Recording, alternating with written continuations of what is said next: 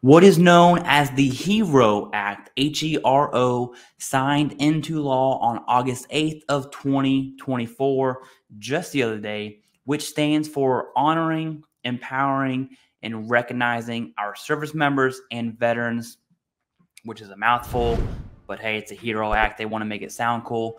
Includes over 30 provisions highlighting about 30,000 female veterans and thousands of LGBTQ plus. And food for thought, you can have your opinion on that. It doesn't matter. I'm not even going to share my opinion because it does not matter.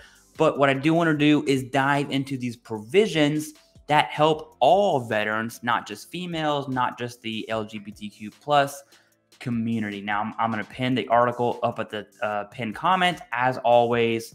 But here we go. Here's the article. And if you scroll down, this pretty much says what the HERO Act is, the 30,000 women got it. Scroll down and benefit expansion. Okay, here we go.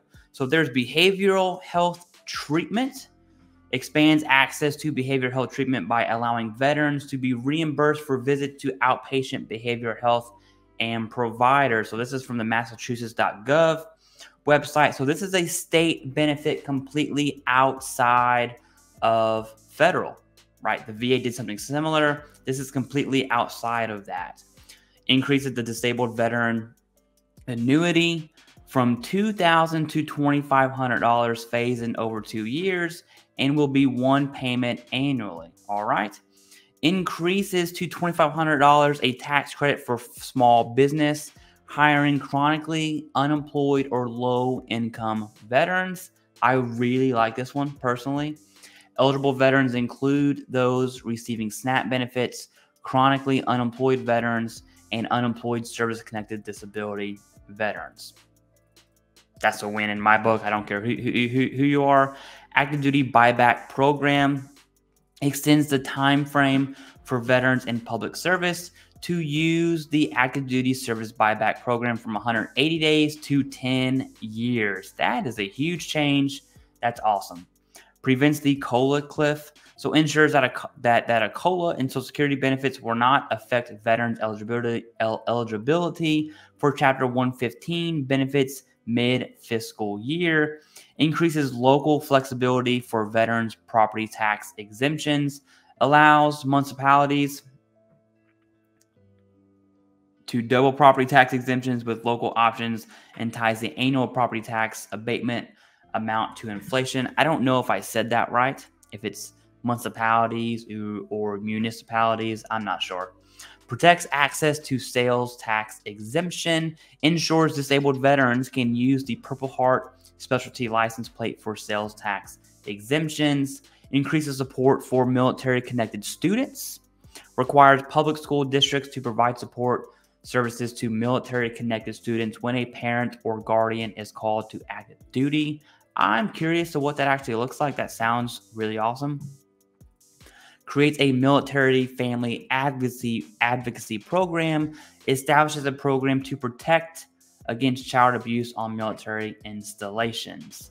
Commitment to inclusivity, inclusivity and greater representation. Man, I cannot speak today broadens the chapter 115 so align state chapter 115 program definition within with the Department of VA, expands the scope of the Veterans Equality Review Board, includes discharges related to MST, PTSD, TBI, mental health conditions, or HIV, expands the definition of veteran dependent, supports more dependents based on the family court definition. Okay, so I assume that means like a, a, a adoption.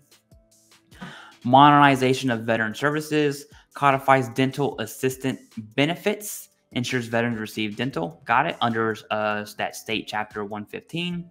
Medical assistance benefits codifies authority for veteran cemeteries, modernizes statute language. So, talking about that state chapter 115 for gender neutral and inclusive language. Okay.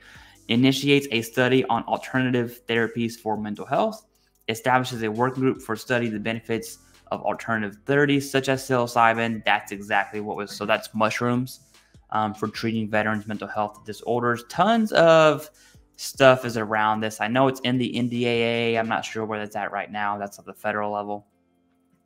Recognition, honoring our veterans. So hashtag flag requirement expands Gold Star family recognition. I absolutely love this for sure.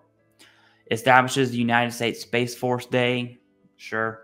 And then establishes the United States Merchant Marine Day. Sure. There we go. So Massachusetts, it is the Hero Act, and the state is calling it groundbreaking. Right? Absolutely groundbreaking. But if you're mass, if you're in Mass for sure, let me know in the comments.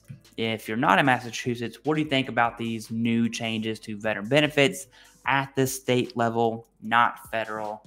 This is within the state of Massachusetts.